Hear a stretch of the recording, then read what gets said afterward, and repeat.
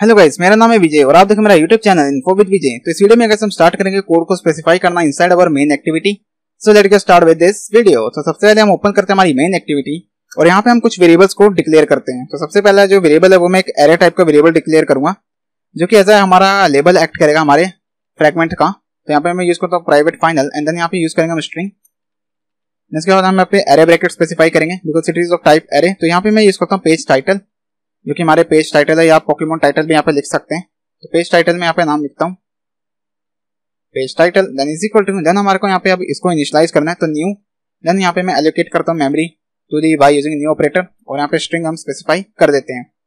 इसके बाद अब मैं यहाँ पे वैल्यूज़ को इनिशलाइज करूँगा, और देन इसे हमें को टर्मिनेट कर देना है। तो ये हम यहाँ पे यूज़ करें the concept of array initialization तो पहला जो हमारा है, वो है ड्रैगन जो कि हमारा लेबल एक्ट होगा। तो यहाँ पे मैं ड्रैगन स्पेसिफाई कर दिया है।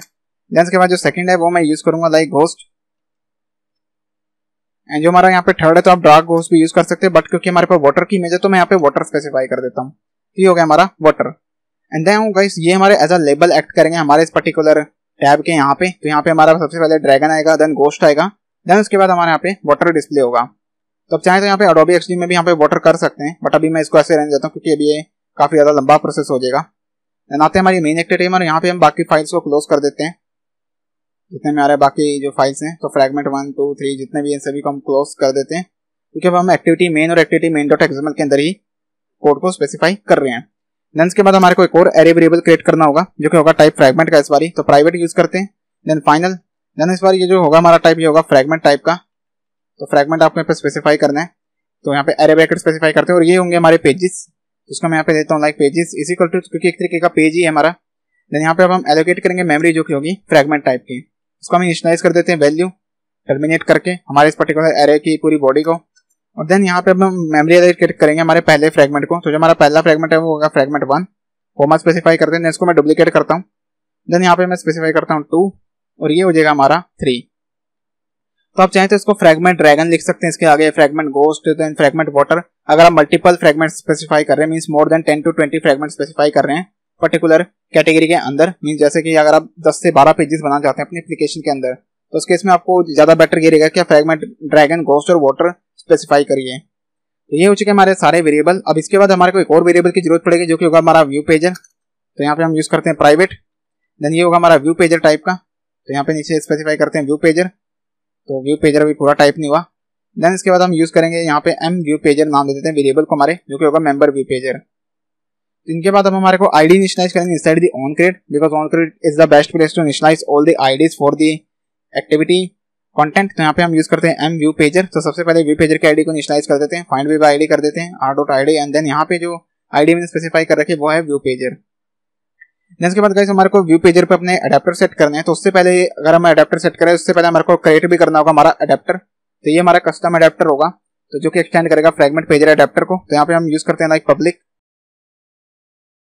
तो फ्रेगमेंट पेजर अडेप्टर देन इसके बाद इसको हम बॉडी स्टार्ट कर देते हैं। देन यहाँ पे अब ये हमें ओवर करने को कह रहा है कुछ मेथड तो इंप्लीमेंट मेथड्स पे क्लिक करते हैं। तो ये दोनों मेथड हम यहाँ पे इंप्लीमेंट करते हैं। अभी फिर हमें भी एरर आ रहा है तो हमारे को यहाँ पे कंस्ट्रक्टर भी ओवर करना है।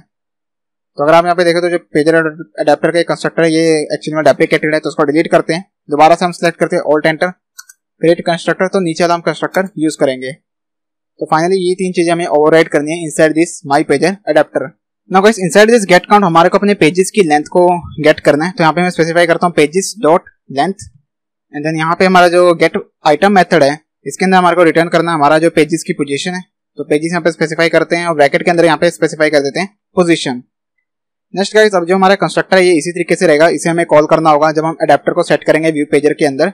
अलॉन्ग विद दैट गाइस अब इसके अंदर हमारे को एक और मेथड को ओवरराइड करना है, जो कि हमारी ये क्लास है माई पेजर अडेप्टर इसके अंदर हमारे को एक और मेथड को ओवरराइड करना है, जो कि होगा हमारा गेट पेज तो इसको हम नाम देते हैं गेट पेज टाइटल तो पेज का टाइटल लेने के लिए हमारे पास एक मेथड है गेट पेज टाइटल तो इसे हमें ओवरराइड करना है। इंस्टेड ऑफ़ दैट अब हम यहाँ पे जो हमारा पेज का टाइटल है, उसको हम यूज़ करेंगे तो उसको हमने नाम दे रखा है लाइक पेज तो जो हमारा पेजेस है पेज पेज टाइटल हमने नाम दिया हुआ है पेज टाइटल तो अंडर स्कोर स्पेसिफाई करते हैं पेज टाइटल एंड देन यहाँ पे हमारे को पोजीशन स्पेसिफाई करनी है हमारे पेज की। पोजीशन हमने स्पेसिफाई कर दिया तो इन पर्टिकुलर चीज़ों से हम कंटेंट रिटर्न कर रहे हैं। ना अब आते हैं, मैं यहाँ पे हमारे वापस से ऑन क्रेट के अंदर, और यहाँ पे अब हम सेट करेंगे हमारे व्यू पेजर पे अडेप्टर तो set adapter is equal to new अब यहाँ पे हम यूज़ करेंगे माई पेजर अडेप्टर देन यहाँ पे सबसे पहले हमारे को स्पेसिफाई करना है get support fragment manager and then यहाँ पे हमारे को बिहेवियर देना है. तो बिहेवियर यहाँ पे मैं ज़ीरो स्पेसिफाई कर देता हूँ.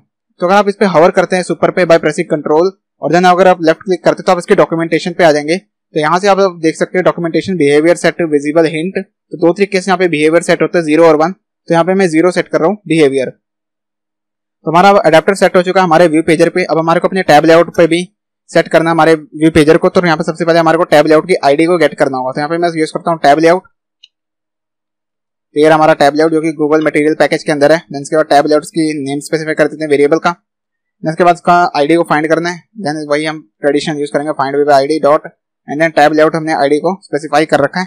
तो एक बार चेक करते हैं आईडी हमारी टैब लेआउट की। तो या the ID is tab layout इसके बाद गाइस अब यहाँ पे हम यूज़ करेंगे टैब लेआउट डॉट और यहाँ पे सेटअप विद व्यू पेजर का यूज़ करेंगे। सेटअप विद व्यू पेजर और यहाँ पे हम पास कर देंगे व्यू पेजर तो गाइस अब हमने फाइनली सेटअप कर दिया व्यू पेजर हमारे टैब लेआउट के अंदर, और सारा कंटेंट हमने सेट कर दिया है। अब इस time to run the application तो इसे रन करता अपने वर्चुअल इमिलेटर पे। तो रन करता हूँ मैं इसको, और फाइनली देखते कि हमारा जो एप्लीकेशन है वो वर्क कर रहा है या नहीं कर रहा है।